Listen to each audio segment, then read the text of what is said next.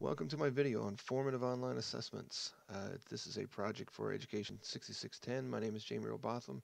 The intent of this video is to highlight what I have learned through the uh, body of research that I have consumed during this course on this topic. So why be interested in formative online assessment in the first place? Well, like a lot of things in education, it seems obvious that it's going to be good, that it's going to increase learning for students, that it's going to also uh, make things easier for the educator.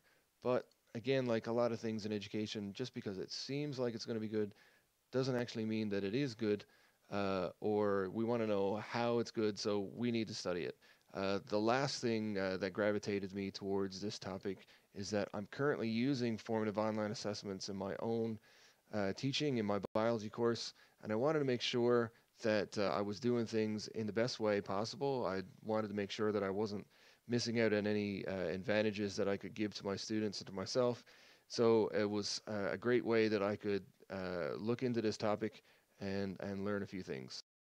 So you can't really talk about formative online assessment without talking about what formative assessment itself is. So really formative assessment is assessment for learning as opposed to uh, of learning. So of course if it's for learning, it occurs during the learning process and not after. Uh, so it, what you're trying to do is provide feedback that would improve and and speed up the learning so the learning is better than it was uh, without the formative assessment in the first place. So one of the uh, quotes from one of the authors I really enjoyed was that it uh, means to empower the learner. So we're actually making learners better learners uh, for the future. So one thing that I've noticed through my uses of it, and it's also been noted by many of the authors on the papers that I've that I've read, is that they must be low stake, non-threatening, and usually for no credit whatsoever. I'm talking to my students all the time about uh, using the quizzes that I have online for them, and that I'm not looking at them, and they're not worth anything, and do them as many times as you want, and get terrible marks on it at the beginning if that's what you want to. There's no judgment. So the students have to be open to be able to use these formative assessments in order for them to be effective. Um, so another point that I thought was really nice from one of the authors is not just to raise standards, but to foster a spirit of learning. So we're really looking to make uh, students uh, more independent uh, uh learners.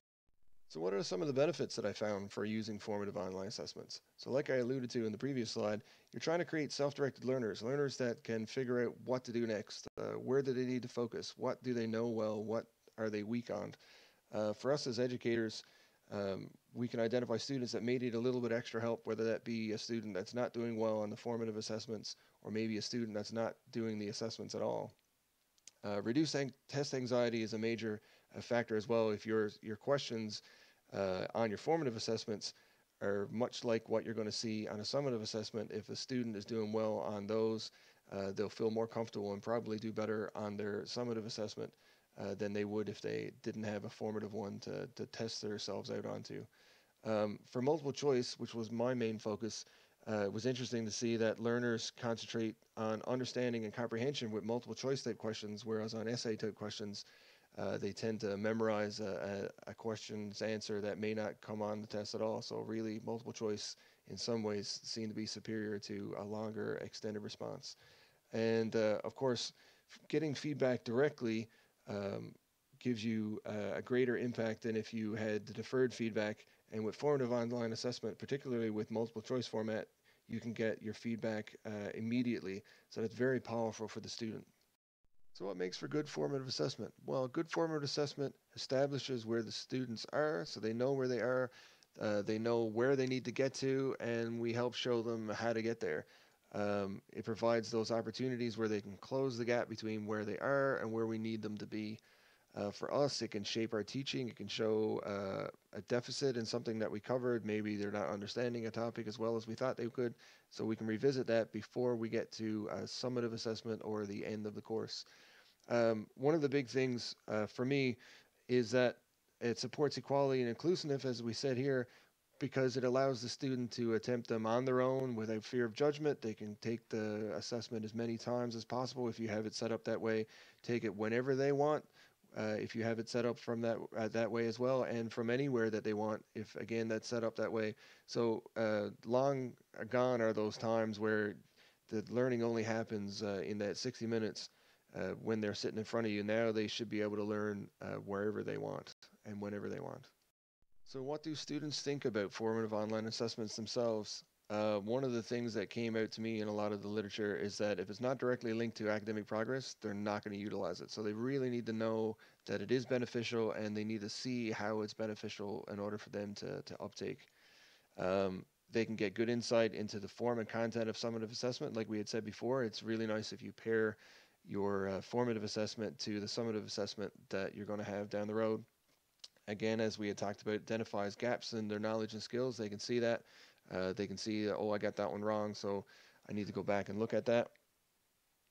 Uh, but though most uh, find it helpful and would recommend it to others, even in some of the research, those that, that didn't do the quizzes, they could see that they were beneficial and would recommend that uh, others would do it even though they didn't do it themselves. Uh, some of the negatives ones that they said that they, they might not have the time to invest in it. It's something else that they got to do outside of their uh, their in-class time. And there could be technical problems, of course. Anything that's online or uses technology can go down from time to time. So what are some of the holes that I found in, in the research on formative online assessment? Well, the main one, just like any other thing in uh, educational research, is that most of the studies are correlational and not causational. It's hard to get a good a, uh, experimental study in anything that deals with uh, students, uh, particularly in students for K to 12. So um, mainly you can get the link between formative online assessment and summative performance, uh, but it could mean, uh, like I pointed here, that that most of the students that do these sort of formative online assessments are the ones that are going to do good anyway. Maybe it's just a, a sign of a good student and not uh, really as beneficial as it might seem.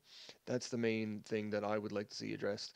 Uh, some of the other things that we saw was that um, we try to figure out what kind of feedback is optimal. Do you need uh, a lot of copious feedback? Do you just need uh, a right around answer? How beneficial is uh, the type of feedback that you can give? Uh, another is that we want to know how students use formative online assessments. How do we set them up so that the uptake is is high? Um, how do we set them up so that uh, they're easy to use?